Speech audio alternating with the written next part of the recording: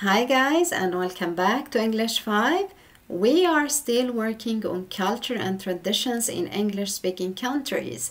And in the last two videos, I just talked about the tradition and culture in America and Australia.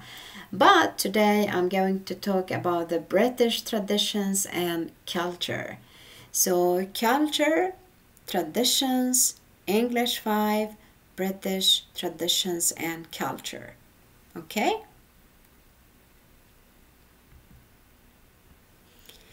And a good way to understand a country is to look at the traditions and holidays celebrated. So let's start there.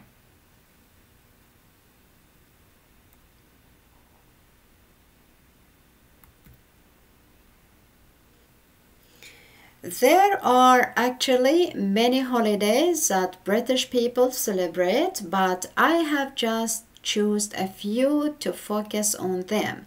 So we have uh, St. Patrick's Day, we have Hogmanay, we have Burns Night, we have May Day, we have Wimbledon Tennis Tournament, we have Harvest Festival, and we have bonfire night.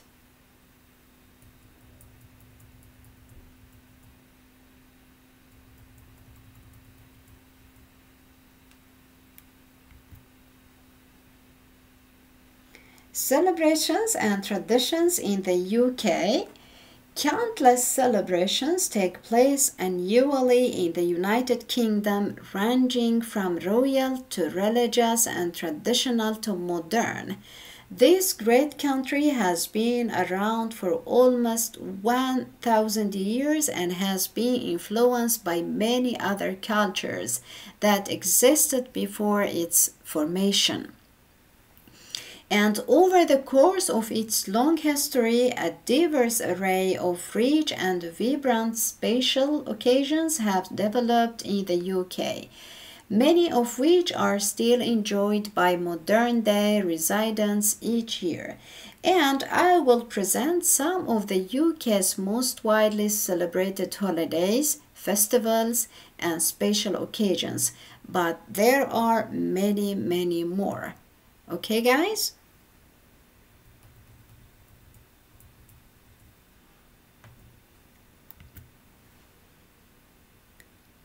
So, first of all, St. Patrick's Day, March 17.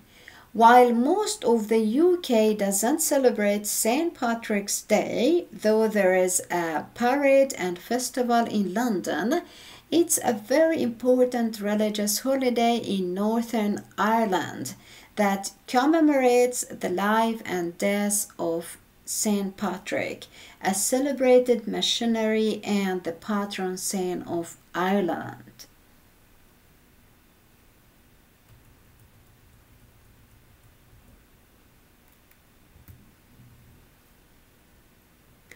Go on to Hogmanay, December 31st, January 2nd.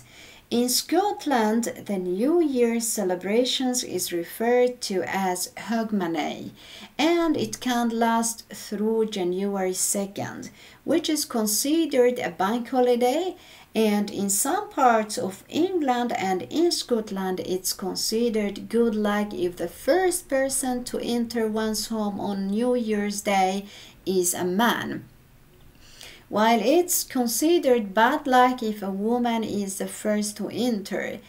In a tradition known as first footing, a male friend enters a friend's home and usually gives a small ceremonial gift.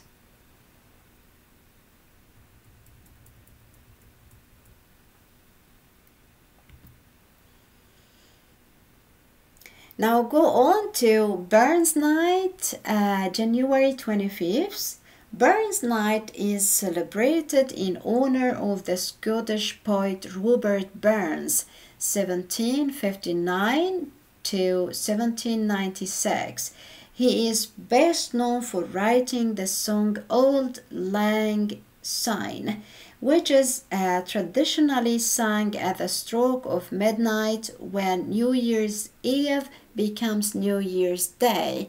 Many Scots celebrate Burns Night by eating haggis, a savory pudding made from sheep pack and other ingredients, and reading the poet's works aloud with company.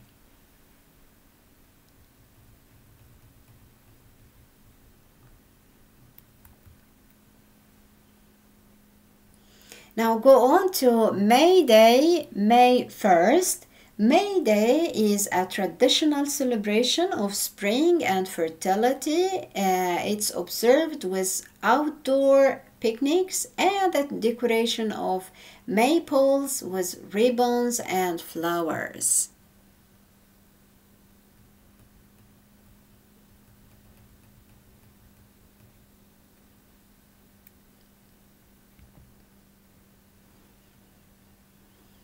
Go on to Wimbledon tennis tournament June and July.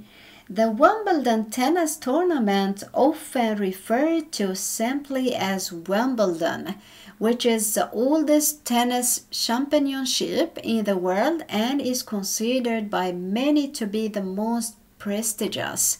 Uh, it typically begins on the last Monday in June and lasts for over two weeks okay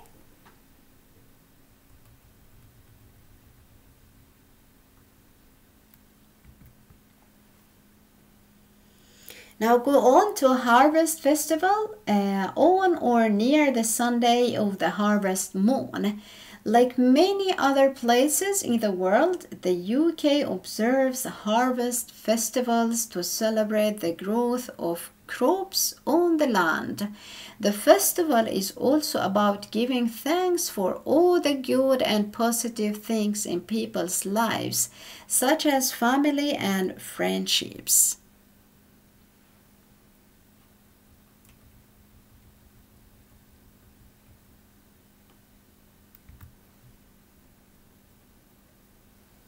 Go on to Bonfire Night, the 5th of November.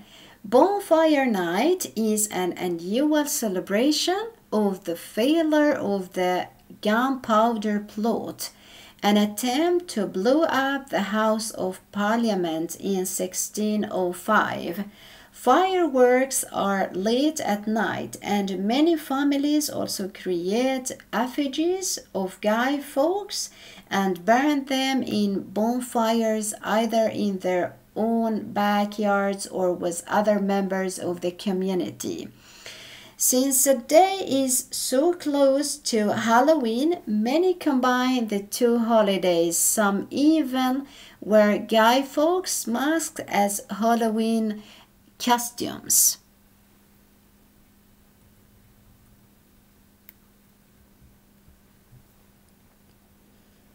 So that was all for today. Thank you so much for listening and I will see you in the next video. Bye.